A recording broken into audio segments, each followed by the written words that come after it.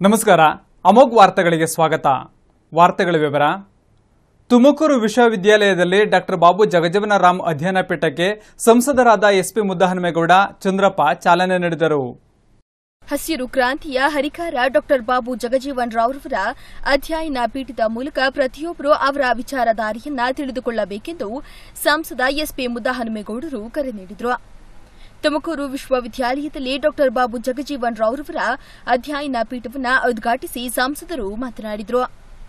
ದೇಶದ ಮಹಾನ್ ವ್ಯಕ್ತಿಗಳಲ್ಲಿ ಬಾಬು ಜಗಜೀವನ್ ರಾವ್ರವರು ಒಬ್ಬರಾಗಿದ್ದು, ಇವರು ಜನರ ಮನಸ್ಸಿನಲ್ಲಿ ಅಚ್ಚುಳಿಯದೆ ಉಳಿದಿದ್ದಾರೆಂದು ಹೇಳಿ, ಇಂತಹ ಮಹಾನ್ ವ್ಯಕ್ತಿಯ ಆದರ್ಶ ವ್ಯಕ್ತಿತ್ವವನ್ನು ಪ್ರತಿಯೊಬ್ಬರು ಜೀವನದಲ್ಲಿ ಅಳವಡಿಸಿಕೊಳ್ಳಬೇಕೆಂದು ಹೇಳಿದರು. ಮಾಜಿ ಮುಖ್ಯಮಂತ್ರಿ ದಿವಂಗತ ಡಿ ದೇವರಾಜ ಅರಸುರವರು ಹಿಂದುಳಿದ ವರ್ಗಗಳ ಜನರಿಗೆ ನೀಡಿದ ರಾಜಕೀಯ ಆರ್ಥಿಕ ಶಕ್ತಿಯಂತೆ ಸಿದ್ದರಾಮಯ್ಯರವರು ಮುಖ್ಯಮಂತ್ರಿಯಾಗಿ ಮಾಡುತ್ತಿದ್ದಾರೆ ಎಂದರು.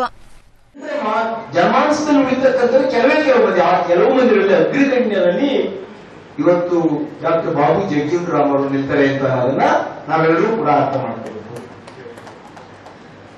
ಅಂತ ಮಹಾನ್ ವ್ಯಕ್ತಿ ಅಧ್ಯಯನ ಪೀಠವನ್ನ ನಮ್ಮ ಸರ್ಕಾರ ಸನ್ಮಾನ್ಯ ಸಿದ್ದರಾಮಯ್ಯ ಸರ್ಕಾರ.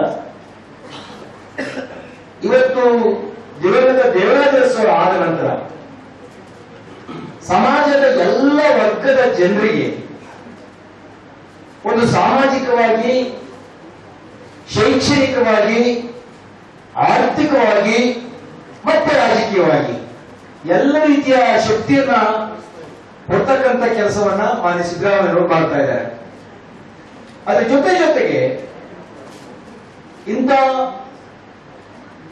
ಒಂದು ಭವಿಷ್ಯದ ದೃಷ್ಟಿಯಿಂದ ನಾವೇನಾದ್ರೂ ಡಾಕ್ಟರ್ ಬಾಬು ಜಗಜೀವನ್ ರಾಮ್ ಅವ್ರ ಬಗ್ಗೆ ಚಿತ್ರದುರ್ಗ ಸಂಸದ ಬಿಎನ್ ಚಂದ್ರಪ್ಪ ಮಾತನಾಡಿ, ದೀನ ದಲಿತರ ಏಳಿಗೆಗಾಗಿ ಅವಿರತವಾಗಿ ಶ್ರಮಿಸಿದ ಮಹಾನ್ ವ್ಯಕ್ತಿ ಬಾಬು ಜಗಜೀವನ್ ರಾವ್ ಎಂದು ಸ್ಮರಿಸಿಕೊಂಡು ಆರ್ಥಿಕವಾಗಿ ಬಲಿಷ್ಠರಾಗಿರುವ ದಲಿತ ಮುಖಂಡರು ಬಡತನದ ಬೇಗಿಯಲ್ಲಿರುವ ದಲಿತರಿಗೆ ಸ್ಪಂದಿಸುವಂತಹ ಕಾರ್ಯಕ್ಕೆ ಮುಂದಾಗಬೇಕೆಂದು ತಿಳಿಸಿದರು. ದಲಿತರಲ್ಲೇ ತಾರತಮ್ಯವಿದ್ದು ಇದನ್ನ ಹೋಗಲಾಡಿಸಿಕೊಂಡು ಹಂಚಿಕೊಂಡು ಬದುಕುವ ಮನೋಭಾವ ಬೆಳೆಸಿಕೊಳ್ಳಬೇಕೆಂದು ಸಂಸದರು ಸೂಚ್ಯವಾಗಿ ಹೇಳಿದ್ರು. ನಮ್ಮ ನಮ್ಮ ಸಹೋದರ ಸಮಾಜಗಳು ಅರ್ಥ ಮಾಡ್ಕೋಬೇಕಾದ ವಿಚಾರ ಒಬ್ಬರೇ ತಿನ್ನುವುದಲ್ಲ ಹಂಚಿ ತಿನ್ನುವುದರಲ್ಲಿ ಸುಖ ಇದೆ ಅಂತ ವಿನಃ ಒಬ್ಬರೇ ತಿನ್ನುವುದರ ಅರ್ಥ ಇಲ್ಲ. ತ್ಯಾಗದಲ್ಲಿ ಸುಖ ಸಿಗುತ್ತೆ. ಭೋಗದಲ್ಲಿ ಸುಖ ಸಿಗುತ್ತಲ್ಲ ಭೋಗ ಕೇವಲ ಐದು ನಿಮಿಷಗಳ ಮಾತ್ರ. ತ್ಯಾಗದಲ್ಲಿ ಸುಖ ಸಿಗುತ್ತೆ. ನಮ್ಮ ಸಹೋದರ ಸಮುದಾಯಗಳು ಅರ್ಥ ಮಾಡ್ಕೋಬೇಕು ಎಲ್ಲರೂ ಹಂಚಿ ತಿನ್ನಬೇಕು ಅನ್ನುವಂಥದ್ದು ಯಾರು ಹಂಚು ತಿನ್ನಲು ವಿರೋಧ ಮಾಡ್ತಾರೋ ಅವರಿಗೆ ನಾವು ಸರಿಯಾದ ರೀತಿಯಲ್ಲಿ ಹಂಚಿ ತಿನ್ನುವಂತ ಪಾಠ ಹೇಳಬೇಕಾಗ್ತದೆ ಸಮಯ ಬಂದಾಗ. ಆ ಸಮಯ ಬಂದಾಗ ಹೇಳ್ತೇವೆ ನಾಲ್ಕು ಜನ ಸಹೋದರರಿದ್ದರೆ ಒಬ್ಬರೇ ತಿನ್ನಬಾರ್ದು ಎಲ್ಲರೂ ಹಂಚಿಕೆ ಇದು ರಾಷ್ಟ್ರಪಿತ ಗಾಂಧೀಜಿಯವರ ಸಿದ್ಧಾಂತ, ಬಾಬು ಚೈತನ್ಯ ಸಿದ್ಧಾಂತ, ಎಲ್ಲ ದಾರ್ಶನಿಕ ಸಿದ್ಧಾಂತ ಅದೇ. ಅದಾಗಬೇಕು ಅದಕ್ಕೋಸ್ಕರ ನಮ್ಮ ತಳ ಸಮುದಾಯದಲ್ಲಿ ನಮ್ಮ ನಮ್ಮ ಮನಸ್ಸನ್ನು ಪರಿವರ್ತನೆ ಮಾಡುವಂತ ಶಕ್ತಿಯನ್ನ, ಸಾಮರ್ಥ್ಯವನ್ನ ಪ್ರೊಫೆಸರ್ ನಾವು ಹಿರಿಯರು ಮಾರ್ಗದರ್ಶನ ಮಾಡಬೇಕು. ನಾವೆಲ್ಲರೂ ಹೇಳಿ ಬಹಳ ಸಂತೋಷ. ತುಮಕೂರು ವಿಶ್ವವಿದ್ಯಾಲಯದ ಕುಲಪತಿ ಪ್ರೊಫೆಸರ್ ಜಯಶೀಲ ಅಧ್ಯಕ್ಷತೆ ವಹಿಸಿದ್ರು. ಸಾಹಿತಿ ಕೆಬಿ ಸಿದ್ದಯ್ಯ ಪ್ರಗತಿಪರ ಚಿಂತಕ ಕೆ ದೊರೈರಾಜ್ ಬಾಬು ಜಗಜೀವನ್ ರಾವ್ ಚರ್ಮ ಕೈಗಾರಿಕಾ ಅಭಿವೃದ್ಧಿ ನಿಗಮದ ವ್ಯವಸ್ಥಾಪಕ ನಿರ್ದೇಶಕ ಡಾಕ್ಟರ್ ಎಚ್ ನಟರಾಜ್ ಮತ್ತಿತರರು ಪಾಲ್ಗೊಂಡಿದ್ರು. ಕುರಿಗಳಿಗೆ ರೋಗ ಕಾಣಿಸಿಕೊಂಡು ಸಾವಿನ ಮನೆ ಸೇರುತ್ತಿವೆ. ಇದರಿಂದ ಕುರಿ ನಂಬಿದವರ ಬದುಕು ಅತಂತ್ರವಾಗಿದೆ. ಕುರಿ ರೋಗ ನಿವಾರಣೆಗೆ ಇಲಾಖೆ ಮುಂದಾಗಬೇಕಿದೆ.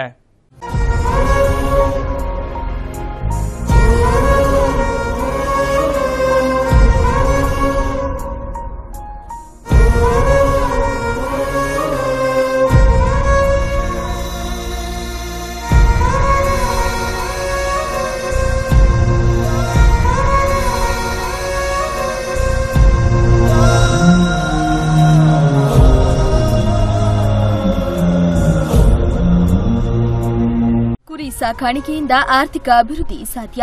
ಇಡೀ ಮನೆ ಮಂದಿ ನೆಮ್ಮದಿಯಾಗಿ ಬದುಕಬಹುದು ಎನ್ನುತ್ತಾರೆ. ಇದೇ ಮಾತನ್ನ ಅಧಿಕಾರಿಗಳು, ಜನಪ್ರತಿನಿಧಿಗಳು ಅಲ್ಲಲ್ಲಿ ಭಾಷಣದಲ್ಲೂ ಹೇಳುತ್ತಾರೆ. ಆದರೆ ವಾಸ್ತವ್ಯದಲ್ಲಿ ಕುರಿ ನಂಬಿದವರ ಬದುಕು ದುರ್ಬಲವಾಗಿದೆ. ಕುರಿಗಳು ಆರ್ಥಿಕವಾಗಿ ಲಾಭ ತಂದುಕೊಡುವ ಬದಲು ಕುರಿಗಾರಿಕೆಗಳ ಪಾಲಿಕೆ ನಷ್ಟವನ್ನುಂಟು ಮಾಡುತ್ತಿದೆ. ನಾನಾ ರೋಗಕ್ಕೆ ತುತ್ತಾಗಿ ಕುರಿಗಳು ಸಾವಿನ ಮನೆ ಸೇರುವ ಮೂಲಕ ಕುರಿಗಹಗಳನ್ನ ಸಂಕಷ್ಟಕ್ಕೆ ಸಿಲುಕಿಸುತ್ತಿವೆ. ಇದಕ್ಕೆ ಉತ್ತಮ ಉದಾಹರಣೆ ಕುರಿಮರಿಯೊಂದಿಗೆ ಆಸ್ಪತ್ರೆ ಮುಂದೆ ಕುಳಿತಿರುವ ಈ ವ್ಯಕ್ತಿಯೇ ಸಾಕ್ಷಿ. ಈತನ ಹೆಸರು ಹೀರಣ್ಣ. ಶಿರಾ ತಾಲೂಕಿನ ಉಯಿಲ್ದೊರೆ ಈತನ ಊರು. ಕುರಿಗಳೇ ಈತನ ಬದುಕಿಗೆ ಆಸರೆ. ಕುರಿಗಳನ್ನ ನಂಬಿಯೇ ಇವರ ಕುಟುಂಬ ನಡೆಯುತ್ತಿದೆ. ಆದರೆ ನಂಬಿದ ಕುರಿಗಳು ಆರ್ಥಿಕ ಲಾಭ ತರುವ ಬದಲು ಸಾವಿನ ದವಡಿಗೆ ಸಿಲುಕುತ್ತಿವೆ. ಇದು ಈರಣ್ಣನ ಪಾಲಿಗೆ ದೊಡ್ಡ ನಷ್ಟವೇ ಸರಿ. ಕುರಿಗಾಹಿ ಈರಣ್ಣ ಒಂದು ಸಾವಿರಕ್ಕೂ ಹೆಚ್ಚು ಕುರಿಗಳನ್ನ ಸಾಕಿದ್ದಾರೆ. ಹಲವು ಬಾರಿ ಕುರಿಗಳಿಗೆ ನಾನಾ ರೋಗ ಕಾಣಿಸಿಕೊಂಡು ಸಾಯುತ್ತವೆ. ಅದೇ ರೀತಿ ಈಗ ಕುರಿ ಮರಿಗಳಿಗೆ ಯಾವುದೋ ಕಾಯಿಲೆ ಕಾಣಿಸಿಕೊಂಡು ಸಾವನ್ನಪ್ಪುತ್ತಿವೆ. ಇದುವರೆಗೂ ಇಪ್ಪತ್ತೈದಕ್ಕೂ ಹೆಚ್ಚು ಕುರಿಮರಿಗಳು ನಿದ್ರಾಣ ಸ್ಥಿತಿ ತಲುಪಿ ಸತ್ತು ಹೋಗಿವೆ. ಇದರಿಂದ ಕಂಗಾಲಾದ ಈರಣ್ಣ ಒಂದು ಕುರಿಮರಿ ಹಿಡಿದುಕೊಂಡು ತುಮಕೂರಿನ ಪಶು ಆಸ್ಪತ್ರೆಗೆ ಓಡಿ ಬಂದಿದ್ದಾರೆ.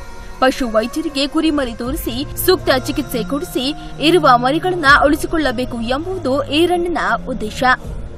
ಕುರಿಮರಿಗಳ ಬಾಯಿಯಲ್ಲಿ ಸಣ್ಣ ಗಾಯಗಳಾಗುತ್ತಿವೆ. ನಂತರ ನೂರೆ ಸುರಿಯುತ್ತವೆ. ಆನಂತರ ನಿತ್ರಾಣಗೊಂಡು ಓಡಾಡಲು ಆಗದ ಸ್ಥಿತಿ ತಲುಪಿ ಕುಸಿದು ಬಿದ್ದು ಸಾವಿನ ಮನೆ ಸೇರುತ್ತವೆ.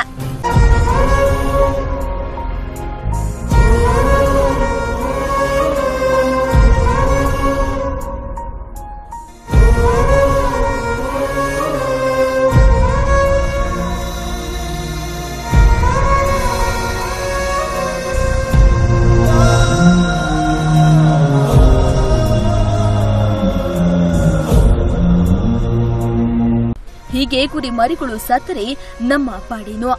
ಇವುಗಳನ್ನ ನಂಬಿರುವ ನಮ್ಮ ಕುಟುಂಬ ಬೀದಿಗೆ ಬೀಳುವ ಪರಿಸ್ಥಿತಿ ಬರಬಹುದು ಎಂದು ಈರಣ್ಣ ಆತಂಕ ವ್ಯಕ್ತಪಡಿಸುತ್ತಾರೆ. ಏನು ಸಮಸ್ಯೆ ಊರಿಗೆ? ಗಾಯಗಳೆಲ್ಲ ಗಾಯ ಸರ್. ಆಮೇಲೆ ಇಡ್ಲೇದಲ್ಲಿ ಆ ಕಡೆ ಈ ಕಡೆ ನಗಲೆ ಬರ್ತೈತಿ. ಗಾಯಗಳಿಗೆ ಗುಳ್ಳೆ ಹಿಂಗಾಗಿ ಹಾಲೆ ಕುಡಿಯೋದು ಸರ್ ಎಲ್ಲೂ ಹಾಲು ಸುತ್ತೋಗ್ತೈತೆ ಎಷ್ಟು ಕುರಿ ಸತ್ತೋಗವೆ ಅದೇ ಒಂದು ಇಪ್ಪತ್ತು ಸುತ್ತೋಗಿ ಒಂದು ಇಪ್ಪತ್ನಾಲ್ಕು ಸುತ್ತೋಗಿ ಏನು ಹೇಳ್ತಾರೆ ಡಾಕ್ಟ್ರಿಗೆ?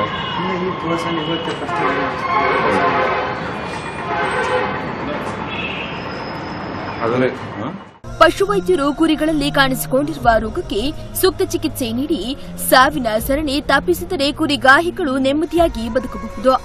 ಈ ನಿಟ್ಟಿನಲ್ಲಿ ವೈದ್ಯರು ಕಾರ್ಯ ಪ್ರವೃತ್ತರಾಗಬೇಕು ರೋಗದ ಬಗ್ಗೆ ಜಾಗೃತಿ, ಅಗತ್ಯ ಮಾಹಿತಿ ನೀಡುವ ಕಾರ್ಯ ಮಾಡಬೇಕಿದೆ. ಇಲ್ಲವಾದಲ್ಲಿ ಕುರಿಗಳನ್ನ ನಂಬಿ ಬದುಕುತ್ತಿರುವ ಏರಣ್ಣನಂತಹ ಕುರಿಗಾಹಿಗಳ ಬದುಕು ಮೂರು ಬಟ್ಟಿಯಾಗಲಿದೆ. ಸಂಬಂಧಪಟ್ಟ ಇಲಾಖೆ ಪಶುವೈದ್ಯರು ಈ ನಿಟ್ಟಿನಲ್ಲಿ ಯೋಚಿಸಿ ಕುರಿಗಳ ಪ್ರಾಣ ಉಳಿಸಬೇಕಿದೆ ಎಂದರು.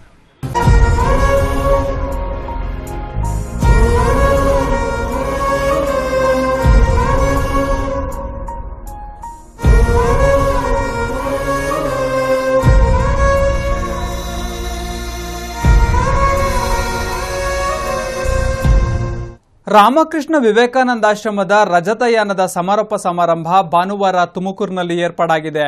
ಎಂಜಿ ಕ್ರೀಡಾಂಗಣದಲ್ಲಿ ಬೃಹತ್ ಯುವ ಸಮಾವೇಶ ಏರ್ಪಾಡಾಗಿದೆ.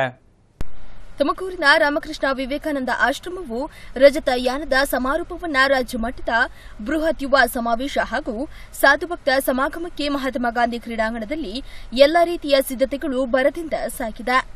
ಮಾರ್ಚ್ ನಾಲ್ಕರ ಭಾನುವಾರದಂದು ನಡೆಯಲಿರುವ ಕಾರ್ಯಕ್ರಮದ ನೇತೃತ್ವವನ್ನು ಕಲ್ಕತ್ತಾದ ರಾಮಕೃಷ್ಣ ಮಠದ ಸ್ವಾಮಿ ಗೌತಮಾನಂದಾಜಿ ಮಹಾರಾಜು ವಹಿಸಲಿದ್ದಾರೆ. ಈ ಬೃಹತ್ ಸಮಾವೇಶಕ್ಕಾಗಿ ಬೃಹತ್ ವೇದಿಕೆ ಜೊತೆಗೆ ಇಪ್ಪತ್ತು ಸಾವಿರಕ್ಕೂ ಹೆಚ್ಚು ಆಸನ ವ್ಯವಸ್ಥೆ ಮಾಡಲಾಗಿದೆ. ಇಡೀ ಕಾರ್ಯಕ್ರಮ ವೀಕ್ಷಣೆಗಾಗಿ ಸ್ಟೇಡಿಯಂ ಸುತ್ತಲೂ ಡಿಜಿಟಲ್ ಸ್ಕ್ರೀನ್ ಸಹ ಅಳವಡಿಸಲಾಗಿದೆ.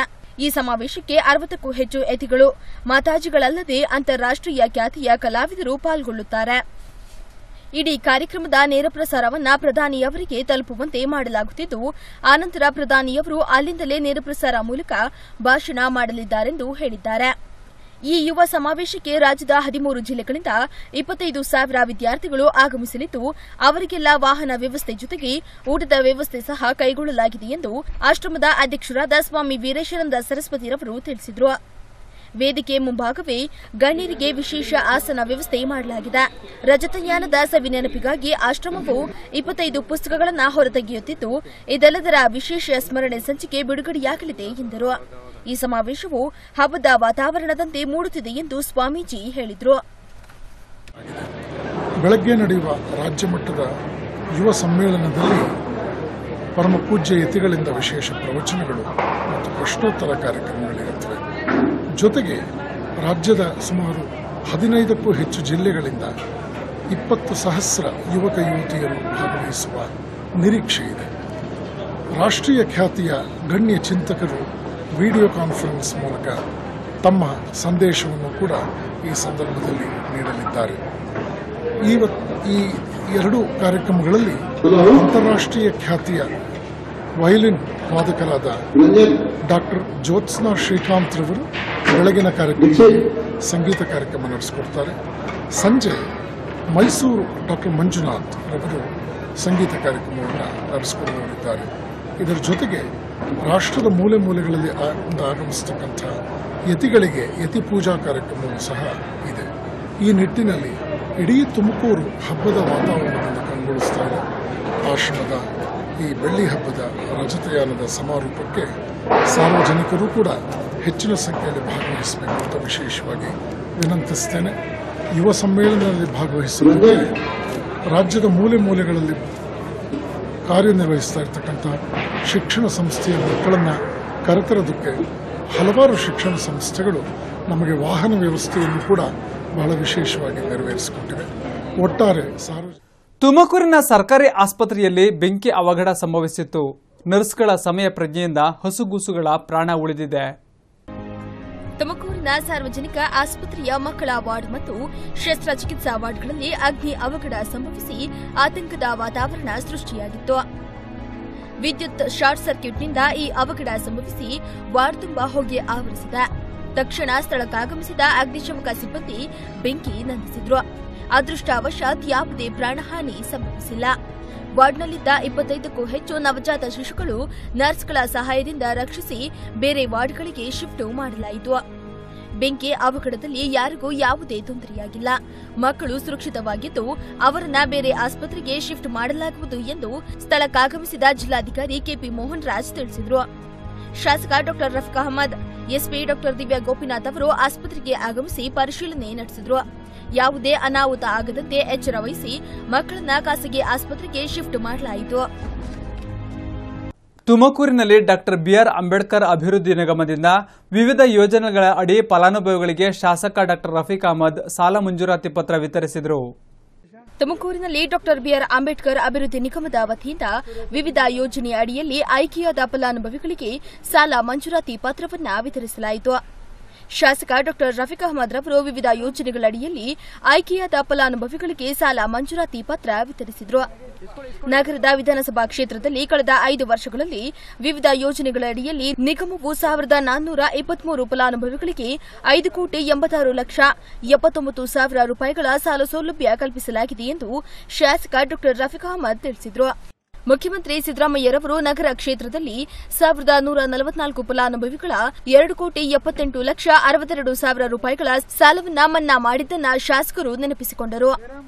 ಸಿದ್ದರಾಮಯ್ಯರವರು ಮುಖ್ಯಮಂತ್ರಿಯಾಗಿ ದಲಿತರು ಬಡವರ ಪರವಾಗಿ ಅನೇಕ ಜನಪರ ಕಾರ್ಯಕ್ರಮಗಳನ್ನು ಅನುಷ್ಠಾನಕ್ಕೆ ತಂದಿದ್ದಾರೆಂದು ಹೇಳಿದರು. ಬೇರೆ ಬೇರೆ ಯೋಜನೆಗಳ ಅಡಿಯಲ್ಲಿ ಸರ್ಕಾರದ ಸವಲತ್ತುಗಳನ್ನು ಕೊಡುವಂತಹ ಕಾರ್ಯಕ್ರಮವನ್ನು ನಾವು ಆಯೋಜಿಸಿದ್ದೀವಿ. ಈ ನಿಗಮದ ವ್ಯವಸ್ಥಾಪಕ ನಿರ್ದೇಶಕರು, ಅಧಿಕಾರಿಗಳೆಲ್ಲ ಸೇರಿ ನಾವು ಕೊಡ್ತಾ ಇದ್ವಿ. ಮುಖ್ಯವಾಗಿ ಈ ವರ್ಷ ಸುಮಾರು ಮುನ್ನೂರ ತೊಂಬತ್ತು ಅರ್ಹ ಫಲಾನುಭವಿಗಳನ್ನು ವಿವಿಧ ಯೋಜನೆಗಳ ಯೋಜನೆಗಳ ಅಡಿಯಲ್ಲಿ ಗುರುತಿಸಿ, ಸುಮಾರು ಒಂದು ಕೋಟಿ ಅರವತ್ತೈದು ಲಕ್ಷ ರೂಪಾಯಿಯ ಅನುದಾನವನ್ನು ಸರ್ಕಾರದಿಂದ ಪಡೆದು ಇವರಿಗೆ ಇವತ್ತು ಹಂಚಿಕೆ ಮಾಡ್ತಾ ಇದ್ದೀವಿ. ಇದುವರೆಗೂ ಕಳೆದ ಐದು ವರ್ಷಗಳಲ್ಲಿ ನನ್ನ ಕ್ಷೇತ್ರದಿಂದ ಸುಮಾರು ಸಾವಿರದ ನೂರ ಐವತ್ತ್ಮೂರು ಫಲಾನುಭವಿಗಳಿಗೆ ಸುಮಾರು ಐದು ಕೋಟಿ ಎಂಬತ್ತೇಳು ಲಕ್ಷ ರೂಪಾಯಿಯ ಅನುದಾನವನ್ನು ನಾವು ಇದುವರೆಗೂ ಸರ್ಕಾರದಿಂದ ಪಡೆದು ಈ ಫಲಾನುಭವಿಗಳಿಗೆ ನಾವು ಹಂಚಿಕೆ ಮಾಡಿದ್ದೀವಿ.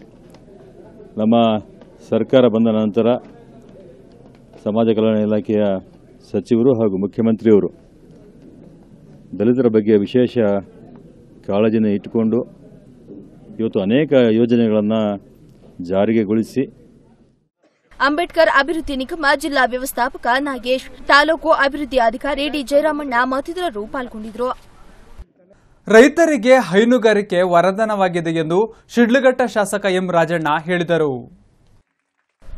ರೈತರು ಗುಣಮಟ್ಟದ ಹಾಲು ಉತ್ಪಾದನೆ ಮಾಡಿ ಸಹಕಾರ ಸಂಘಗಳಿಗೆ ಹಾಕಿದಾಗ ಮಾತ್ರ ಹಾಲು ಉತ್ಪಾದಕರ ಸಹಕಾರ ಸಂಘಗಳು ಏಳಿಗೆಯಾಗುತ್ತವೆ ಎಂದು ಶಾಸಕ ಎಂ ರಾಜಣ್ಣ ಹೇಳಿದರು. ಶಿಡ್ಲಘಟ್ಟ ತಾಲೂಕಿನ ಆನೆಮಗಡು ಗ್ರಾಮದಲ್ಲಿ ಸುಮಾರು ಹದಿನಾಲ್ಕು ಪಾಯಿಂಟ್ ಐದು ಲಕ್ಷ ರೂಪಾಯಿ ವೆಚ್ಚದಲ್ಲಿ ನಿರ್ಮಿಸಲಾಗಿರುವ ಹಾಲು ಉತ್ಪಾದಕರ ಸಹಕಾರ ಸಂಘದ ನೂತನ ಕಟ್ಟಡ ಹಾಗೂ ಬಿಎಂಸಿ ಘಟಕದ ಉದ್ಘಾಟನಾ ಸಮಾರಂಭದಲ್ಲಿ ಭಾಗವಹಿಸಿ ಮಾತನಾಡಿದರು. ಕಳೆದ ಮೂರು ದಶಕಗಳ ಹಿಂದೆ ಈ ಭಾಗದ ರೈತರ ಉಪಕಸುಬಾಗಿದ್ದ ಹೈನುಗಾರಿಕೆ ಇದೀಗ ಮುಖ್ಯ ಕಸುಬಾಗಿದೆ. ಇಂದು ಕುಡಿಯುವ ನೀರಿಗೂ ಪರಿತಪ್ಪಿಸುವ ವಾತಾವರಣ ನಿರ್ಮಾಣವಾಗಿದ್ದು ರೈತರು ಕೃಷಿ ಮಾಡಲಾಗುತ್ತಿಲ್ಲ. ಬಹುತೇಕ ರೈತರು ಮನೆಯಲ್ಲಿ ಒಂದೆರಡು ಹಸುಗಳನ್ನು ಸಾಕಿ ಹಾಲು ಉತ್ಪಾದಿಸಿ ಉತ್ತಮ ಜೀವನ ನಡೆಸುವಂತಾಗಿದೆ ಎಂದರು. ಕೊಚ್ಚಿಮೂಲ್ ನಿರ್ದೇಶಕ ಬಂಕ್ ಮುನಿಯಪ್ಪ ಮಾತನಾಡಿ, ಕುಡಿಯುವ ನೀರಿಗೂ ಪರದಾಡುವ ಸ್ಥಿತಿಯಲ್ಲಿದ್ದರೂ ಈ ಭಾಗದ ರೈತರು ಅದರಲ್ಲಿಯೂ ಮಾತೆಯರು. ಹಾಲಿನ ಉತ್ಪಾದನೆಯಲ್ಲಿ ಹೆಚ್ಚಿನ ಆಸಕ್ತಿ ತೋರುತ್ತಿದ್ದು, ಹಾಲು ಉತ್ಪಾದನೆಯಲ್ಲಿ ಗುಣಮಟ್ಟ ಕಾಯ್ದುಕೊಳ್ಳುವಂತೆ ಕರೆ ನೀಡಿದರು. ಅದು ಯಾವಾಗ ಬರ್ತದೆ ನೀವು ಗುಣಮಟ್ಟದ ಹಾಲನ್ನ ನಿಮ್ಮ ಹಾಲು ಉತ್ಪಾದಕರ ಸಹಕಾರ ಕೊಟ್ಟಾಗ ಮಾತ್ರ ನಿಮ್ಮ ಹಾಲಿನಲ್ಲಿ ಗುಣಮಟ್ಟ ಕಡಿಮೆ ಆದ್ರೆ ನಿಮ್ಮ ಸಹಕಾರ ಸಂಖ್ಯೆ ಐದು ರೂಪಾಯಿ ಪ್ರೋತ್ಸಾಹಧನ ಬರೋದಿಲ್ಲ. ಇವೆಲ್ಲವನ್ನು ಕೂಡ ನಮ್ಮ ವಿಸ್ತರಣಾ ಅಧಿಕಾರಿಗಳಿರ್ಬೋದು, ಸಂಬಂಧಪಟ್ಟ ಇಲಾಖಾ ಅಧಿಕಾರಿಗಳಿರ್ಬೋದು, ಎಲ್ಲರೂ ಕೂಡ ಮಾಹಿತಿ ಕೊಡ್ತಾರೆ. ಅವೆಲ್ಲವನ್ನು ಕೂಡ ಗಮನದಲ್ಲಿಟ್ಕೊಂಡು ಇವತ್ತು ಬೇನು ಕೃಷಿ ಬಹಳಷ್ಟು ದುಬಾರಿ ಆಗ್ತದೆ ಅಂತ ಸಂದರ್ಭದಲ್ಲಿ ಹೈನುಗಾರಿಕೆ ನಮಗೆಲ್ಲ ಬಹಳಷ್ಟು ಯೋಗಿಕರವಾಗಿದೆ ಮತ್ತು ಲಾಭದಾಯಕವಾಗಿದೆ. ಮತ್ತೆ ನಿಗದಿಯಾದ ಸಮಯಕ್ಕೆ ನಿಗದಿಯಾದ ಹಣ ನಮಗೆ ಬರ್ತದೆ ಒಂದು ಖಾತ್ರಿ ಇರ್ತದೆ. ಆ ನಿಟ್ಟಿನಲ್ಲಿ ತಾವೆಲ್ಲರೂ ಕೂಡ ಹೈನುಗಾರಿಕೆ ಪ್ರೋತ್ಸಾಹ ಕೊಡ್ರಿ. ಇವತ್ತು ನಿಮ್ಮೂರಲ್ಲೇ ಒಂದು ಎಸ್ ಎಫ್ ಸಿ ಬ್ಯಾಂಕ್ ಕೂಡ ಇದೆ. ಅದು ಮುಖೇನ ನಮ್ಮ ಪ್ರಗತಿಪರ ರೈತರಿಗೆ ಹಣವನ್ನು ಕೂಡ ನಮ್ಮ ಡಿಸಿಸಿ ಬ್ಯಾಂಕ್ ಮುಖೇನ ಹಣವನ್ನು ತೆಗೆದುಕೊಂಡು ಉತ್ತಮವಾದ ರೀತಿಯಲ್ಲಿ ಹೈನು ಉತ್ಪಾದನೆ ಮಾಡಿ ಗುಣಮಟ್ಟದ ಹಾಲನ್ನು ಕೊಟ್ಟು ಈ ಒಂದು ಹಾಲು ಉತ್ಪಾದಕ ಸಹಕಾರ ಸಂಘನ ಇನ್ನೂ ಅಭಿವೃದ್ಧಿ ಆಗಬೇಕು. ಆಗ್ಲೇ ಹೇಳಿದ ಕನಿಷ್ಠ ಒಂದು ಬಿ ಎಂ ಸಿನಲ್ಲಿ ಆ ಗ್ರಾಮದಲ್ಲಿ ಒಂದು ಸಾವಿರದಿಂದ ಒಂದೂವರೆ ಸಾವಿರ ಲೀಟರ್ ಹಾಲು ಉತ್ಪಾದನೆ ಮಾಡಿದ್ರೆ ನಿಮ್ಗೆ ಇನ್ನೂ ಲಾಭಾಂಶ ಸಿಗ್ತದೆ. ಕೇವಲ ಆರುನೂರ ಐವತ್ತು ಲೀಟರ್ ಹಾಲು ಉತ್ಪಾದನೆ ಮಾಡಿದ್ರೆ ಮುಂದಿನ ದಿನಗಳಲ್ಲಿ ಮನಸ್ಸು ಮಾಡಿ ಕನಿಷ್ಠ ಒಂದು ಸಾವಿರದಿಂದ ಒಂದು ಸಾವಿರದ ಐನೂರು ಲೀಟರ್ ಹಾಲನ್ನ ಈ ಗ್ರಾಮದಲ್ಲಿ ಉತ್ಪಾದನೆ ಮಾಡೋ ರೀತಿಯಲ್ಲಿ ತಾವೆಲ್ಲರೂ ಕಾಯ ಈ ಸಂದರ್ಭದಲ್ಲಿ ಜಿಲ್ಲಾ ಪಂಚಾಯಿತಿ ಸದಸ್ಯ doctor AM Jayaram Reddy JDS taluk ಅಧ್ಯಕ್ಷ ಡಾಕ್ಟರ್ ಧನಾಂಜಯ ರೆಡ್ಡಿ ಸಂಘದ ಅಧ್ಯಕ್ಷ ರಾಮಪ್ಪ ಗ್ರಾಮ ಪಂಚಾಯಿತಿ ಅಧ್ಯಕ್ಷೆ ಮುದ್ದುಲಕ್ಷ್ಮಮ್ಮ ಗುಮ್ಮರೆಡ್ಡಿ ಉಪಾಧ್ಯಕ್ಷೆ ಮಮತಾ ಮಂಜುನಾಥ್ ಹಾಜರಿದ್ದರು. ಕುಣಿಗಲ್ ಪುರಸಭೆ ಈ ಸಾಲಿಗೆ ಮೂವತ್ತೆರಡು ಪಾಯಿಂಟ್ ಒಂಬತ್ತು ಏಳು ಲಕ್ಷ ರೂಪಾಯಿಗಳ ಆಯವ್ಯಯ ಮಂಡಿಸಿದೆ. ಕುಣಿಗಲ್ ಪುರಸಭೆಯಲ್ಲಿ ಈ ಸಾಲಿಗೆ ಮೂವತ್ತೆರಡು ಪಾಯಿಂಟ್ ಒಂಬತ್ತು ಏಳು ಲಕ್ಷ ರೂಪಾಯಿ ಉಳಿತಾಯ ಬಜೆಟ್ ಮಂಡಿಸಲಾಗಿದೆ. ಮೂವತ್ತೆಂಟು ಪಾಯಿಂಟ್ ಏಳು ಒಂಬತ್ತು ಕೋಟಿ ರೂಪಾಯಿ ಆದಾಯ ನಿರೀಕ್ಷಿಸಿರುವ ಪುರಸಭೆ ಮೂವತ್ತೆಂಟು ಪಾಯಿಂಟ್ ನಾಲ್ಕು ಆರು ಕೋಟಿ ರೂಪಾಯಿ ಖರ್ಚು ಮಾಡಲು ಯೋಜನೆ ರೂಪಿಸಿ ಆಯವ್ಯಯ ಮಂಡಿಸಿದೆ. ಅಧ್ಯಕ್ಷತೆ ನಳಿನ ಅವರ ಅಧ್ಯಕ್ಷತೆಯಲ್ಲಿ ಸಭೆ ನಡೆಯಿತು. ಸದಸ್ಯ ಕೆಎಲ್ ಹರೀಶ್ ಮಾತನಾಡಿ, ಬಜೆಟ್ ವಿಷಯದ ಮೇಲೆ ಚರ್ಚಿಸದ ಹಿಂದಿನ ಸಭೆಯಲ್ಲಿ ನಡೆದ ಕೆಲ ವಿಷಯಗಳು ಟೆರಾವೋ ಪುಸ್ತಕದಲ್ಲಿ ಬರೆದಿದ್ದು, ಆ ಪುಸ್ತಕದ ಸಮರ್ಪಕ ನಿರ್ವಹಣೆ ಇಲ್ಲ ಎಂದರು. ಶುಕ್ರವಾರ ತಾವು ಪ್ರಾರ್ಥನೆಗೆ ಹೋಗಬೇಕು. ಇದೇ ದಿನ ಸಭೆ ಕರೆದಿರುವುದು ಸರಿಯಲ್ಲ ಎಂದು ಸದಸ್ಯ ಅನ್ಸರ್ ಪಾಷಾ ಸಭೆಯಿಂದ ಹೊರನಡೆದರು. ಇದನ್ನ ಬೆಂಬಲಿಸಿದ ಸದಸ್ಯ ಹರೀಶ್, ಸಭೆಯನ್ನ ಮಧ್ಯಾಹ್ನಕ್ಕೆ ಮುಂದೂಡಿ ಎಂದು ಸಲಹೆ ಮಾಡಿ ಹೊರಹೋದರು. ಇದರಿಂದ ವಿಚಲಿತರಾದ ಅಧ್ಯಕ್ಷೆ ನಳಿನ, ಇತರ ಸದಸ್ಯರ ಅಭಿಪ್ರಾಯ ಪಡೆದು ಮೂರು ಗಂಟೆ ನಂತರ ಬಜೆಟ್ ಸಭೆ ನಡೆಸಲು ತೀರ್ಮಾನಿಸಿದರು. ಮಧ್ಯಾಹ್ನದ ಸಭೆಗೆ ಸದಸ್ಯರು ವಿಳಂಬವಾಗಿ ಆಗಮಿಸಿದರು. ನಂತರ ಆಯವ್ಯಯ ಮಂಡಿಸಲಾಯಿತು. ಪುರಸಭೆ ಕಟ್ಟಡಗಳಿಗೆ ಐದು ಕೋಟಿ, ವಿದ್ಯುತ್ ಚಿತಗಾರಿಕೆ ಒಂದು ಕೋಟಿ, ಆಧುನಿಕ ಕಸಾಯಿಖಾನೆ ನಿರ್ಮಾಣಕ್ಕೆ ಒಂದು ಕೋಟಿ, ನೂತನ ಕಚೇರಿ ಪೀಠೋಪಕರಣ ಖರೀದಿಗೆ ಐವತ್ತು ಲಕ್ಷ, ವಾಹನ ಖರೀದಿಗೆ ಎಪ್ಪತ್ತೈದು ಲಕ್ಷ ರೂಪಾಯಿಗಳನ್ನು ಬಜೆಟ್ನಲ್ಲಿ ಮೀಸಲಿಡಿಸಲಾಗಿದೆ. ಜೊತೆಗೆ ಫುಟ್ಪಾತ್ ಚರಂಡಿ ತ್ಯಾಜ್ಯ ವಿಲೇವಾರಿ, ಕುಡಿಯುವ ನೀರು ಸರಬರಾಜು, ಒಳಚರಂಡಿ ಮುಂತಾದ ಕಾಮಗಾರಿಗಳಿಗೆ ಆಯವ್ಯಯದಲ್ಲಿ ಆದ್ಯತೆ ನೀಡಲಾಗಿದೆ. ಎಪ್ಪತ್ತೊಂಬತ್ತು ಲಕ್ಷದ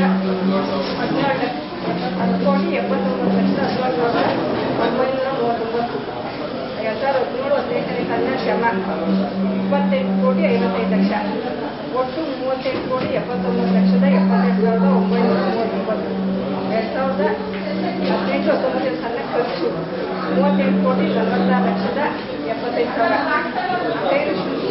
ಬಜೆಟ್ ಮುಗಿಸಿದ್ದು ಮೂವತ್ತೆಂಟು ಸದಸ್ಯರಾದ ರಂಗಸ್ವಾಮಿ, ಚಂದ್ರಶೇಖರ್, ಸಮೀವುಲ್ಲಾ ಮೊದಲಾದವರು ಬಜೆಟ್ ಚರ್ಚೆಯಲ್ಲಿ ಪಾಲ್ಗೊಂಡಿದ್ರು.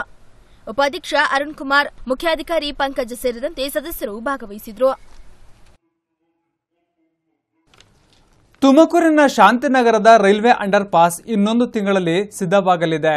ಶೀಘ್ರ ಕಾಮಗಾರಿ ಆರಂಭವಾಗಲಿದೆ. ತುಮಕೂರಿನ ಶಾಂತಿನಗರದಲ್ಲಿ ರೈಲ್ವೆ ಅಂಡರ್ ಪಾಸ್ ನಿರ್ಮಾಣಕ್ಕೆ ಒತ್ತಾಯಿಸಿ ಹಲವು ಹೋರಾಟ ಪ್ರತಿಭಟನೆ ನಡೆದವು. ಈ ಭಾಗದ ಜನರು ರಸ್ತೆ ತಡೆದು ಧರಣಿ ಮಾಡಿದ್ರು. ಪಾಲಿಕೆ, ರೈಲ್ವೆ ಇಲಾಖೆ ಸೇರಿದಂತೆ ಎಂಪಿ ಎಂಎಲ್ಎಗೆ ಮನವಿ ಸಲ್ಲಿಸಿದ್ರು. ಇದೆಲ್ಲದರ ಪರಿಣಾಮ ಎಂಬಂತೆ ಶಾಂತಿನಗರದಲ್ಲಿ ಸಾರ್ವಜನಿಕರ ಅನುಕೂಲಕ್ಕಾಗಿ ಅಂಡರ್ ಪಾಸ್ ನಿರ್ಮಾಣಕ್ಕೆ ರೈಲ್ವೆ ಇಲಾಖೆ ಒಪ್ಪಿಗೆ ಸೂಚಿಸಿತು. ಇದರಿಂದ ಜನರು ಖುಷಿಯಾಗಿದ್ರು. ಹೋರಾಟಕ್ಕೆ ಜಯ ಸಿಕ್ಕಿ ತೃಪ್ತಿ ಅವರದಾಗಿತ್ತು. ವಿಪರ್ಯಾಸ ಅಂದರೆ ಮೂರ್ನಾಲ್ಕು ವರ್ಷ ಕಳೆದರೂ ರೈಲ್ವೆ ಅಂಡರ್ ಪಾಸ್ ನಿರ್ಮಾಣವಾಗಲೇ ಇಲ್ಲ ಸಂಸದರು, ಶಾಸಕರು ಕಾಮಗಾರಿಗೆ ಗುದ್ದಲಿ ಪೂಜೆ ನಡೆಸಿದ್ದು ಬಿಟ್ಟರೆ ಬೇರೆ ಕಾಮಗಾರಿ ನಡೆಯಲೇ ಇಲ್ಲ. ಇದರಿಂದ ಬೇಸರಗೊಂಡ ಸಾರ್ವಜನಿಕರು ಮತ್ತೆ ಹೋರಾಟ ಪ್ರತಿಭಟನೆಗಳನ್ನು ನಡೆಸುತ್ತಿದ್ದಾರೆ. ಸಾಮಾಜಿಕ ಹೋರಾಟಗಾರ ಶ್ರೀನಿಧಿ ರಾಜಣ್ಣ, ರೈಲ್ವೆ ಇಲಾಖೆ ಅಧಿಕಾರಿಗಳು, ಪಾಲಿಕೆ ಹಾಗೂ ಸಂಸದರು, ಶಾಸಕರಿಗೆ ಮನವಿ ಸಲ್ಲಿಸಿ ಒತ್ತಡ ಹೇರಿದ ಪರಿಣಾಮ ಇದೀಗ ಕಾಮಗಾರಿ ಆರಂಭವಾಗಿದೆ. ಇದೀಗ ಏಳು ಸಿಮೆಂಟ್ ಬ್ಲಾಕ್ಸ್ ಮಾಡಿಕೊಳ್ಳಲಾಗುತ್ತಿದ್ದು, ಇನ್ನೊಂದು ತಿಂಗಳಲ್ಲಿ ಅಂಡರ್ ಪಾಸ್ ಕಾಮಗಾರಿ ಮುಗಿಯಲಿದೆ. ನಮ್ಮ ಹೋರಾಟಕ್ಕೆ ಪ್ರತಿಫಲ ಸಿಗುವ ದಿನ ಹತ್ತಿರ ಬಂದಿದೆ ಎನ್ನುತ್ತಾರೆ ರಾಜಣ್ಣ ಅಂಡರ್ ಪಾಸ್ ಕಾಮಗಾರಿಗೆ ಇನ್ನೊಂದು ಅಡ್ಡಿ ಎದುರಾಗುವ ಸಂಭವವಿದೆ. ಅದು ಅಪ್ರೋಚ್ ರಸ್ತೆ. ಹೌದು, ಎರಡು ಬೀದಿಯಲ್ಲೂ ಅಪ್ರೋಚ್ ರೋಡ್ಗೆ ಜಾಗ ಬಿಡಲು ಕೆಲವರಿಂದ ವಿರೋಧ ವ್ಯಕ್ತವಾಗಿದೆ. ನಮ್ಮ ಜಾಗ ಹೋಗಲಿದೆ ಎಂಬ ಆತಂಕದಲ್ಲಿ ಕೆಲವರು ಅಂಡರ್ ಪಾಸ್ ನಿರ್ಮಾಣಕ್ಕೆ ಅಪಸ್ವರ ಎತ್ತುತ್ತಿದ್ದಾರೆ. ಇದು ಹೀಗೆ ಮುಂದುವರೆದರೆ ಅಂಡರ್ ಪಾಸ್ ನಿರ್ಮಾಣ ಇನ್ನು ವಿಳಂಬವಾಗಲಿದೆ. ರೈಲ್ವೆ ಇಲಾಖೆ ಈ ಅಂಶವನ್ನ ಮನಗಂಡು ಮೊದಲೇ ಸಮಸ್ಯೆ ಪರಿಹಾರಕ್ಕೆ ಮುಂದಾಗಬೇಕು. ಇನ್ನು ಸಂಸದ ಮುದ್ದಾನ್ಮೇಗೌಡ ಶಾಸಕ ಡಾ ರಫೀಕ್ ಅಹಮದ್ ಮುತುವರ್ಜಿ ವಹಿಸಿ ಶಾಂತಿನಗರ ರೈಲ್ವೆ ಅಂಡರ್ ಪಾಸ್ ಕಾಮಗಾರಿ ಶೀಘ್ರ ಪೂರ್ಣಗೊಳಿಸಬೇಕಿದೆ. ಮಾನವ ಹಕ್ಕು ಉಲ್ಲಂಘನೆ ಆಗದಂತೆ ಜಾಗೃತಿ ಸಮಿತಿ ಪದಾಧಿಕಾರಿಗಳು ಗಮನಹರಿಸಬೇಕೆಂದು ಮಾನವ ಹಕ್ಕು ಜಾಗೃತಿ ಸಮಿತಿ ಅಧ್ಯಕ್ಷ ಡಾ ಲಕ್ಷ್ಮಣ ಸಿಂಗ್ ಹೇಳಿದರು. ಮಾನವ ಹಕ್ಕುಗಳು ಉಲ್ಲಂಘನೆಯಾದಾಗ ಜಾಗೃತಿ ಸಮಿತಿ ಪದಾಧಿಕಾರಿಗಳು ಅವರಿಗೆ ಬೆಂಬಲವಾಗಿ ನಿಲ್ಲಬೇಕು ಎಂದು ಮಾನವ ಹಕ್ಕುಗಳ ಜಾಗೃತಿ ಸಮಿತಿ ರಾಜ್ಯಾಧ್ಯಕ್ಷ ಡಾ ಸಮೇತನಹಳ್ಳಿ ಲಕ್ಷ್ಮಣ್ ಸಿಂಗ್ ಶಿಡ್ಲಘಟ್ಟದಲ್ಲಿ ಹೇಳಿದರು. ಸುದ್ದಿಗೋಷ್ಠಿಯಲ್ಲಿ ಮಾತನಾಡಿದ ಅವರು, ತಾಲೂಕು ಸಮಿತಿಯ ದ್ವಿತೀಯ ತಾಲೂಕು ಸಮಾವೇಶದ ಅಂಗವಾಗಿ ಕಾನೂನು ಅರಿವು, ಕಾನೂನು ವಿಚಾರ ಸಂಕಿರಣ, ಧರ್ಮ ಮತ್ತು ವೈಚಾರಿಕತೆ ಹಾಗೂ ಇತ್ತೀಚಿನ ವಿದ್ಯಮಾನಗಳ ಒಂದು ನೋಟ ಎಂಬ ಕಾರ್ಯಕ್ರಮವನ್ನು ಹಮ್ಮಿಕೊಳ್ಳಲಾಗಿದೆ. ಮಾನವ ಹಕ್ಕುಗಳ ಉಲ್ಲಂಘನೆ ಹಾಗೂ ಅದನ್ನು ತಡೆಯುವ ಕ್ರಮಗಳ ಬಗ್ಗೆ ಸಮಾವೇಶದಲ್ಲಿ ಜನಜಾಗೃತಿ ಮೂಡಿಸಲಾಗುವುದು ಎಂದರು. ಪತ್ರಿಕಾಗೋಷ್ಠಿಯನ್ನು ಕರೆದಿರ್ತಕ್ಕಂಥ ಉದ್ದೇಶ ಏನಂತ ದಿನಾಂಕ ಐದು ಮೂರು ಎರಡ್ ಸಾವಿರದ ಹದಿನೆಂಟರಂದು ದ್ವಿತೀಯ ತಾಲೂಕು ಸಮಾವೇಶದ ಅಂಗವಾಗಿ ಶಿಲ್ಘಟ್ಟ ನಗರದಲ್ಲಿ ಕಾನೂನು ಅರಿವು, ವಿಚಾರ ಸಂಕಿರಣ, ಧರ್ಮ ಮತ್ತು ವೈಚಾರಿಕತೆ ಹಾಗೂ ಇತ್ತೀಚಿನ ವಿದ್ಯಮಾನಗಳ ಒಂದು ನೋಟ ಅನ್ನತಕ್ಕಂಥ ಒಂದು ಕಾರ್ಯಕ್ರಮವನ್ನು ಹಮ್ಮಿಕೊಂಡಿದ್ದು. ಆ ಕಾರ್ಯಕ್ರಮದ ಉದ್ದೇಶ ಏನಪ್ಪಾ ಅಂತ ಹೇಳಿದ್ರೆ, ಏನಿವತ್ತು ಮಹಿಳಾ ಹಕ್ಕಿರ್ಬೋದು ಶೈಕ್ಷಣಿಕ ಹಕ್ಕಿರ್ಬೋದು ಅಥವಾ ರೈತ ಪರ ಕಾಳಜಿಯ ಬಗ್ಗೆ, ರೈತರ ಸಮಸ್ಯೆಗಳ ಬಗ್ಗೆ, ಕಾರ್ಮಿಕರ ಸಂಕಷ್ಟಗಳು ಮತ್ತು ಅದರ ಸಮಸ್ಯೆಗಳ ಬಗ್ಗೆ ಒಂದು ಜಾಗೃತಿಯನ್ನ ಮೂಡಿಸಬೇಕು ಅಂತ ಹೇಳಿ ಈಗಾಗಲೇ ನಮ್ಮ ಅಧ್ಯಕ್ಷ ಆಗಿರ್ತಕ್ಕಂಥ ವಿಜಯರವರ ಒಂದು ನೇತೃತ್ವದಲ್ಲಿ ದ್ವಿತೀಯ ಸಮಾವೇಶವನ್ನು ನಾವು ಮಾಡಬೇಕು. ಇಲ್ಲಿ ಶಿಡ್ಲಘಟ್ಟ ತಾಲೂಕು ಪಟ್ಟಣದ ಮಾನವ ಹಕ್ಕುಗಳ ಜಾಗೃತಿ ಸಮಿತಿ ರಾಜ್ಯ ಉಪಾಧ್ಯಕ್ಷ ಜಿ ಮುನಿಕೃಷ್ಣ, ರೈತ ಮೋರ್ಚಾ ಮುಖಂಡ ಶಿವಕುಮಾರ್ ಗೌಡ, ಆರೋಗ್ಯನಾಥನ್ ತಾಲೂಕು ಅಧ್ಯಕ್ಷ ಎನ್ ವಿಜಯ್ ಕಾರ್ಯದರ್ಶಿ ಜಿ ಸುರೇಶ್ ಮಹಿಳಾ ಸಮಿತಿ ಅಧ್ಯಕ್ಷೆ ಸವಿತಾ ಕಾರ್ಮಿಕ ಸಮಿತಿ ಅಧ್ಯಕ್ಷ ಪ್ರದೀಪ್ ಮತ್ತಿತರರು ಹಾಜರಿದ್ದರು. ತುಮಕೂರಿನ ಅನನ್ಯ ಕಾಲೇಜಿನಲ್ಲಿ ಕ್ಯಾಂಪಸ್ ಸಂದರ್ಶನ ನಡೆಯಿತು. ವಿವಿಧ ಕಾಲೇಜುಗಳಿಂದ ಐದುನೂರಕ್ಕೂ ಹೆಚ್ಚು ವಿದ್ಯಾರ್ಥಿಗಳು ಸಂದರ್ಶನದಲ್ಲಿ ಭಾಗವಹಿಸಿದ್ರು. ತುಮಕೂರಿನ Ananya institute of commerce and management college ಆವರಣದಲ್ಲಿ ಕ್ಯಾಂಪಸ್ ಸಂದರ್ಶನ ನಡೆಯಿತು. ಈ ಕ್ಯಾಂಪಸ್ ಸಂದರ್ಶನಕ್ಕೆ ಅಂತಿಮ ವರ್ಷದ ಬಿಕಾಂ ಮತ್ತು ಎಂಕಾಂ ವಿದ್ಯಾರ್ಥಿಗಳು ಪಾಲ್ಗೊಂಡಿದ್ದು, ನಗರದ ವಿವಿಧ ಕಾಲೇಜುಗಳಲ್ಲದೆ ಜಿಲ್ಲೆಯ ವಿವಿಧ ಕಾಲೇಜುಗಳಿಂದ ಸುಮಾರು ಐನೂರಕ್ಕೂ ಹೆಚ್ಚು ವಿದ್ಯಾರ್ಥಿಗಳು ಆಗಮಿಸಿ ಸಂದರ್ಶನದಲ್ಲಿ ಭಾಗವಹಿಸಿದರು. ಬೆಂಗಳೂರಿನ ಪ್ರತಿಷ್ಠಿತ ಹದಿನೈದಕ್ಕೂ ಹೆಚ್ಚು ಕಂಪನಿಗಳು ಪಾಲ್ಗೊಂಡು ಅರ್ಹ ಹಾಗೂ ಪ್ರತಿಭಾವಂತ ವಿದ್ಯಾರ್ಥಿಗಳನ್ನು ನೇಮಕ ಮಾಡಿಕೊಳ್ಳಲಿದ್ದು, ಪ್ರತಿ ವರ್ಷವೂ ಕ್ಯಾಂಪಸ್ ಸಂದರ್ಶನ ಮಾಡಲಾಗುವುದೆಂದು ಸಂಸ್ಥೆಯ ಅಧ್ಯಕ್ಷ ಹಾಗೂ ಆಡಿಟರ್ ವಿಶ್ವನಾಥ್ ತಿಳಿಸಿದರು.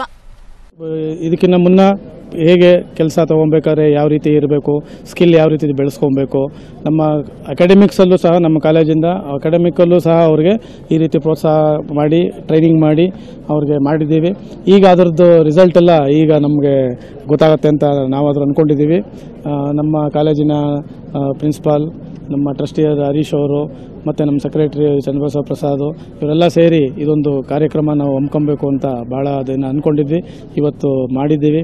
ಇದು ಒಳ್ಳೆಯದಾಗಲಿ ಎಲ್ಲ ಮಕ್ಕಳಿಗೂ ಇದು ಒಳ್ಳೆಯದಾಗಲಿ ಅಂತ ಹೇಳಿ ನನ್ನ ಎರಡು ಮಾತನ್ನ ಮುಗಿಸ್ತೀನಿ. ಪ್ರಮುಖವಾಗಿ ಎಚ್ ಡಿ ಎಫ್ ಸಿ ಬ್ಯಾಂಕಿಂದ ಬಂದಿದೆ.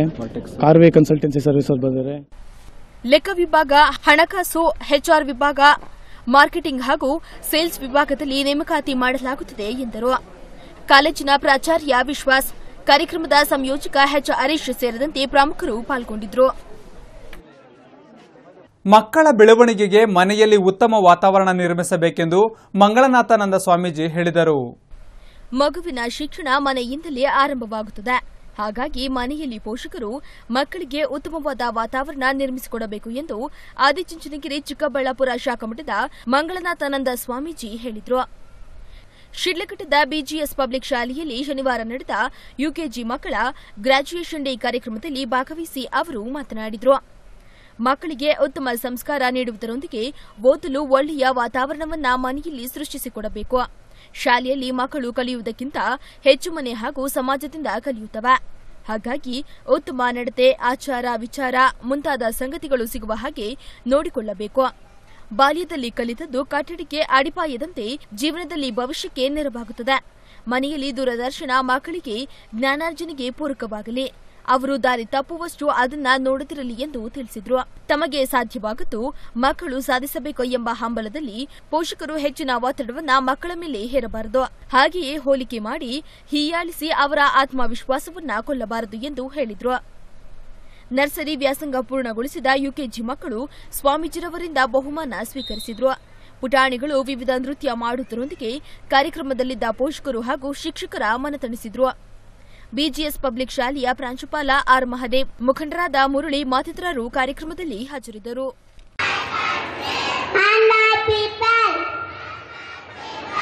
I find happiness in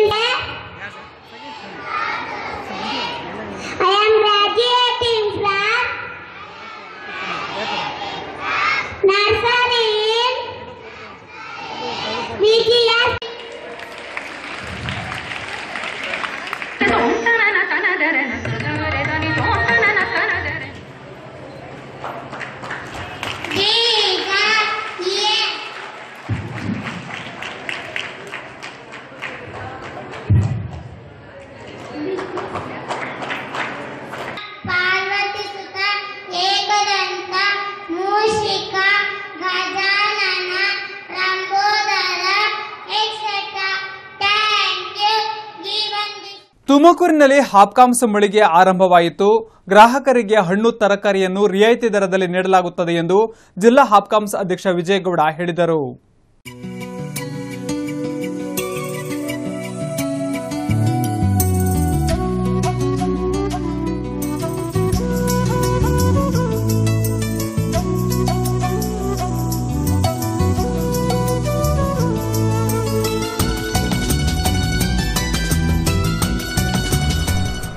ತುಮಕೂರಿನ ತೋಟಗಾರಿಕೆ ಇಲಾಖೆ ಆವರಣಕ್ಕೆ ಹೊಂದಿಕೊಂಡಂತೆ ಬಿಎಚ್ ರಸ್ತೆಯಲ್ಲಿ ನವೀಕರಣಗೊಂಡ ಹಾಪ್ಕಾಮ್ಸ್ ಮಳಿಗೆ ಆರಂಭವಾಯಿತು.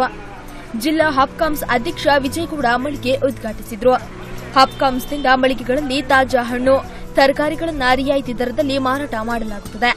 ನಾಗರಿಕರು ಇದರ ಪ್ರಯೋಜನ ಪಡೆದುಕೊಳ್ಳುವಂತೆ ಕೋರಿದರು. ಸಭೆ ಸಮಾರಂಭಗಳಿಗೆ ಹಾಪ್ಕಾಮ್ಸ್ನಿಂದ ಹಣ್ಣುಗಳನ್ನು ಕಡಿಮೆ ದರದಲ್ಲಿ ಸರಬರಾಜು ಮಾಡಲಾಗುತ್ತಿದೆ ಎಂದು ವಿಜಯಗೌಡ ಹೇಳಿದರು. ತುಮಕೂರು ನಗರದ ಮಹಾಜನತೆಗೆ ನಾವು ತುಮಕೂರು ಜಿಲ್ಲಾ ಆಪ್ಕಾಮ್ಸ್ ವತಿಯಿಂದ ಉತ್ತಮ ಗುಣಮಟ್ಟದ ಫ್ರೆಶ್ ತಾಜಾ ಹಣ್ಣುಗಳನ್ನ ಮತ್ತು ಹಣ್ಣು ಮತ್ತು ತರಕಾರಿಗಳನ್ನ ರಿಯಾಯಿತಿ ದರದಲ್ಲಿ ತುಮಕೂರು ನಗರದ ಜನತೆಗೆ ಇವತ್ತಿನಲ್ಲಿ ಈ ಅಂಗಡಿಯನ್ನು ಈ ಮಳಿಗೆನ ನವೀಕರಣ ಮಾಡಿ ರಿಯಾಯಿತಿ ದರದಲ್ಲಿ ಕೊಡ್ತಾ ಇದ್ದೀವಿ. ಮತ್ತೆ ಇನ್ನೇ ಮದುವೆ ಇನ್ನಿತರ ಶುಭ ಸಮಾರಂಭಗಳಿಗೆ ಉಚಿತವಾಗಿ ಫ್ರೀ ಡೆಲಿವರಿ ಉಚಿತ ಸಾಗಾಣಿಕೆ ವ್ಯವಸ್ಥೆಯನ್ನು ಮಾಡಿದ್ದೀವಿ. ತುಮಕೂರು ನಗರದ ಮಹಾಜನತೆ ಇದರ ಸದುಪಯೋಗ ಪಡಿಸಬೇಕು ಅಂತ ಹೇಳಿ ನಾನು ಜಿಲ್ಲಾಧ್ಯಕ್ಷನಾಗಿ ನಮ್ಮಲ್ಲಿ ಕೇಳ್ಕೊತೇನೆ ಜಿಲ್ಲಾ ಹಬ್ಕಾಮ್ಸ್ ನಿರ್ದೇಶಕರು ಅಧಿಕಾರಿಗಳು ಈ ವೇಳೆ ಹಾಜರಿದ್ದರು. ಕಾಂಗ್ರೆಸ್ ಟಿಕೆಟ್ ದೊರೆಯದಿದ್ದರೆ ಪಕ್ಷೇತರ ಅಭ್ಯರ್ಥಿಯಾಗಿ ಚಿಕ್ಕಬಳ್ಳಾಪುರ ಕ್ಷೇತ್ರದಿಂದ ಸ್ಪರ್ಧಿಸುವುದು ಖಚಿತ ಎಂದು ಮುಖಂಡ ನವೀನ್ ಕಿರಣ್ ಹೇಳಿದ್ದಾರೆ. ಕಾಂಗ್ರೆಸ್ ಪಕ್ಷದಿಂದ ಟಿಕೆಟ್ ದೊರೆಯದಿದ್ದರೆ ಪಕ್ಷೇತರ ಅಭ್ಯರ್ಥಿಯಾಗಿ ಚಿಕ್ಕಬಳ್ಳಾಪುರ ಕ್ಷೇತ್ರದಿಂದ ಸ್ಪರ್ಧಿಸುವುದಾಗಿ ಕಾಂಗ್ರೆಸ್ ಮುಖಂಡ ಕೆವಿ ನವೀನ್ ಕಿರಣ್ ಹೇಳಿದರು. ಇಪ್ಪತ್ತು ವರ್ಷದಿಂದ ಕಾಂಗ್ರೆಸ್ನಲ್ಲಿ ಸಕ್ರಿಯವಾಗಿ ತೊಡಗಿಕೊಂಡು ಪಕ್ಷ ಸಂಘಟನೆಗೆ ಶ್ರಮಿಸಿದ್ದು, ಪಕ್ಷದ ವರಿಷ್ಠರು ಈ ಬಾರಿ ತಮಗೆ ಟಿಕೆಟ್ ನೀಡಬೇಕು ಎಂದು ಕೋರಿದರು. ಚಿಕ್ಕಬಳ್ಳಾಪುರ ಕ್ಷೇತ್ರದಲ್ಲಿ ಹಳ್ಳಿ ಹಳ್ಳಿಗಳಲ್ಲಿ ಜನಸಂಪರ್ಕ ಸಭೆ ನಡೆಸಿದ್ದು, ಜನಬೆಂಬಲ ವ್ಯಕ್ತವಾಗಿದೆ. ಹಾಲಿ ಶಾಸಕರು ಅಭಿವೃದ್ಧಿ ಕೆಲಸಕ್ಕೆ ಆದ್ಯತೆ ನೀಡಿಲ್ಲ. ಹಾಗಾಗಿ ಕ್ಷೇತ್ರದ ಸಮಸ್ಯೆಗಳು ಹಾಗೆ ಉಳಿದಿವೆ ಎಂದು ನವೀನ್ ಕಿರಣ್ ಹೇಳಿದರು. ಬರ್ತಕ್ಕಂಥ ವಿಧಾನಸಭಾ ಚುನಾವಣೆಯಲ್ಲಿ ಕಾಂಗ್ರೆಸ್ ಪಕ್ಷದ ಪರವಾಗಿ ಉಮೇದುದಾರನಾಗಿ ಅಭ್ಯರ್ಥಿಯಾಗಿ ಸ್ಪರ್ಧಿಸಬೇಕು ಅಂತ ಸಾಕಷ್ಟು ಜನ ಒತ್ತಾಯ ಮಾಡಿ, ಇವತ್ತು ಮೊನ್ನೆ ವೀಕ್ಷಕರು ಬಂದಾಗೂ ಸಹ ನಮ್ಮ ಅಹವಾಲನ್ನು ಅವರಿಗೆ ತಲುಪಿಸಿದ್ದೇವೆ ಮತ್ತು ನಿನ್ನೆ ತಾನೇ ಕಾಂಗ್ರೆಸ್ ಪಕ್ಷದಿಂದ ಕೊಟ್ಟಿರ್ತಕ್ಕಂಥ ಅರ್ಜಿಯನ್ನು ಸಹ ನಾನು ಪಡ್ಕೊಂಡು ಇನ್ನೊಂದು ಎರಡು ಮೂರು ದಿನದಲ್ಲಿ ಅರ್ಜಿಯನ್ನು ಅವರಿಗೆ ಹಿಂತಿರುಗಿಸಿ ನನ್ನ ಒಂದು ಮನವಿಯನ್ನು ಸಹ ನಾನು ಕೊಡ್ತಾ ಇದ್ದೇನೆ. ಈ ಭಾಗದ ಜನತೆ ಒಂದು ಬದಲಾವಣೆಯನ್ನು ಬಯಸ್ತಾ ಇದ್ದಾರೆ. ಇವತ್ತು ಭ್ರಷ್ಟಾಚಾರದಲ್ಲಿ ಅತ್ಯಂತ ಎತ್ತರಕ್ಕೆ ಹೋಗಿರ್ತಕ್ಕಂಥ ನಮ್ಮ ಚಿಕ್ಕಬಳ್ಳಾಪುರವನ್ನು ಮತ್ತೆ ಒಂದು ನಿಯಂತ್ರಣವನ್ನು ತಂದು ನಿಜವಾದ ಜನಸ್ನೇಹಿ ಮತ್ತು ಭ್ರಷ್ಟಾಚಾರ ರಹಿತ ಆಡಳಿತವನ್ನು ಕೊಡಲಿಕ್ಕೆ ಒಂದು ಪ್ರಯತ್ನವನ್ನು ನಾವು ಮಾಡ್ತಾ ಇದ್ದೀವಿ ಈ ಹೋರಾಟದಲ್ಲಿ ಎಲ್ಲ ಕ್ಷೇತ್ರದ ಜನತೆ ನನಗೆ ಸಹಾಯ ಮಾಡಿ ನನಗೆ ಆಶೀರ್ವಾದ ಮಾಡಿ ಬೆಂಬಲವನ್ನು ಸೂಚಿಸಬೇಕು ಅಂತ ನಾನು ಮನವಿಯನ್ನ ಮಾಡ್ತೇನೆ. ತಾವು ಶಾಸಕರಾಗಿ ಆಯ್ಕೆಯಾದರೆ ಸ್ವಚ್ಛ ಆಡಳಿತ ನೀಡಿ ಜನರ ಸಮಸ್ಯೆ ನಿವಾರಣೆಗೆ ಸ್ಪಂದಿಸುವುದಾಗಿ ಹೇಳಿದರು. ಇಲ್ಲಿಗೆ ಅಮೋಘ್ ವಾರ್ತಾ ಪ್ರಸಾರ ಮುಕ್ತಾಯವಾಯಿತು. ಇದುವರೆಗೂ ಸುದ್ದಿ ಕೊಟ್ಟಿದ್ದು ನಾನು ಕೆಆರ್ ಪಾಲಾಕ್ಷ. ಸ್ಥಳೀಯ ಸುದ್ದಿಗಾಗಿ ತಪ್ಪದೆ ವೀಕ್ಷಿಸಿ ಅಮೋಘ್ ವಾರ್ತೆಗಳು.